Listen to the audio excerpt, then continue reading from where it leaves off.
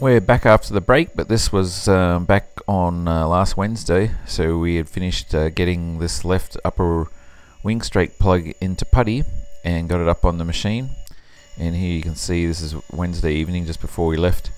Just starting out here with um, the uh, short um, three quarter inch mill of the flat end and just starting out on the flanges. So that was running on uh, Wednesday evening, and then I was back up uh, in the shop on Friday and just uh, switching the the bits there and uh, running the extra paths that you'll see here shortly.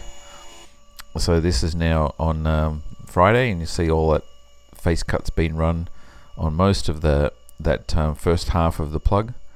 And see underneath there, that hasn't been run yet. So you can see there I've switched to uh, the three quarter inch ball mill there, and it's just starting to run the transitions on the flange and this is a little bit later on in the day on Friday and uh, got the 3 eighths of an inch ball, mit, ball mill on and uh, doing the uh, undercut there um, underneath the leading edge of the wing for the plug there. And the reason I have to use that one is because uh, I have to use the side of the ball mill and because you, there's no way you can get the flat mill under there. Um, so anyway that takes a lot of passes because you've got to just have a really tight step over on there but anyway, that all came out really well, and so most of that was uh, run on uh, Friday. And so this is late Friday afternoon now, and I've managed to get everything run on the first half and actually slid the plug down on the table there so we can mill the other half because remember the table can only mill about 12 feet in total length and this um, plug was 16 feet long so here you can see again with the flat mill and just uh, about to start out on the first uh, flange there for the second half.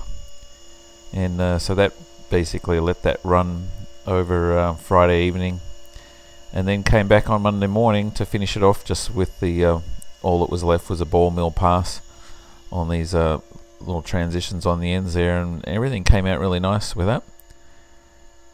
And here you can see this is uh, middle of the day on Monday and it's all all been run. So there's the last of the big wing skin plugs run and so everything starts to get smaller now. So we've still got uh, winglets to do which was inner and outer left and right. We've got um, the foreplane to do but lots more still to come but it's getting easier.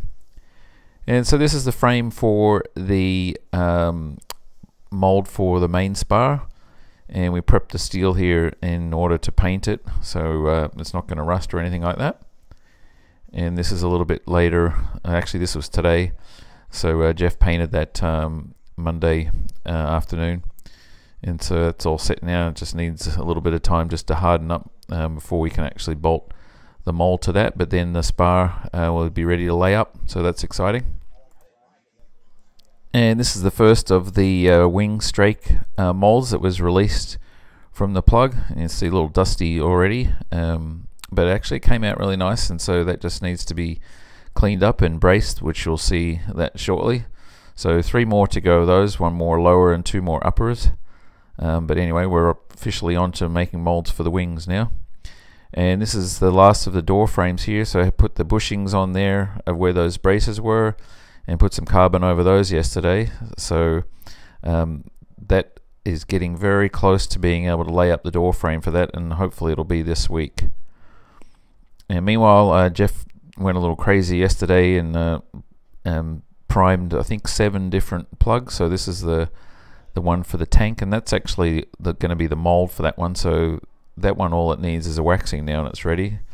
And this one is for the uh, that's the in inner lip for the intake, the air intake. So that one got primed.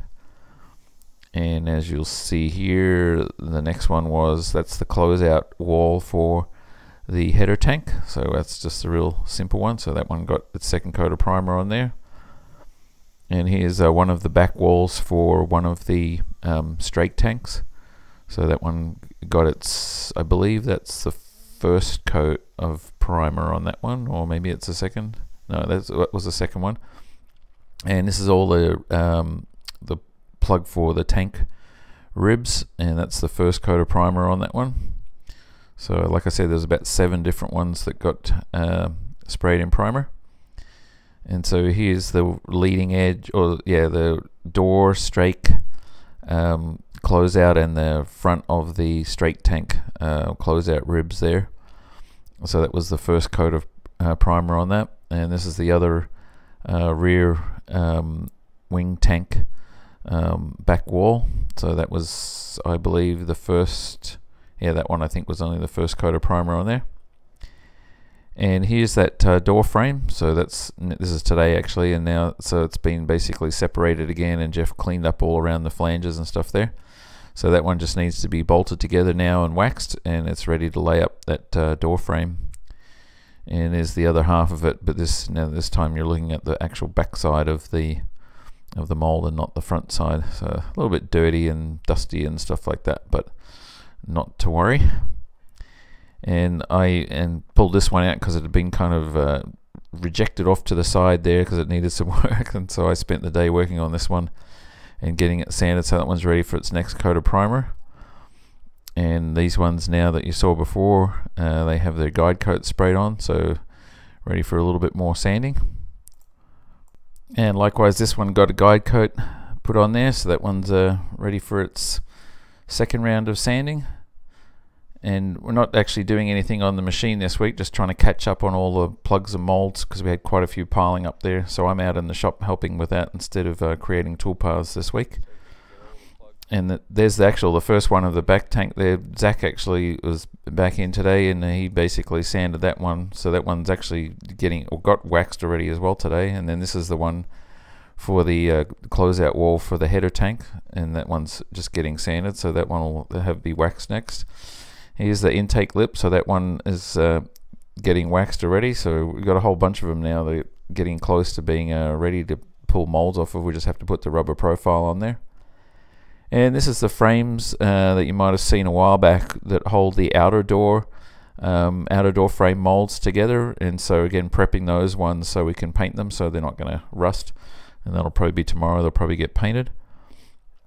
And uh, here Roberto and Chris are in, and um, Jeff was working with them to create a um, a brace and stand for that mold that you saw earlier that was released. So it's we just put it back on the plug to do that. And so they basically just cut and trimmed that foam, and um, they're in the process of glassing that now. So that'll be done.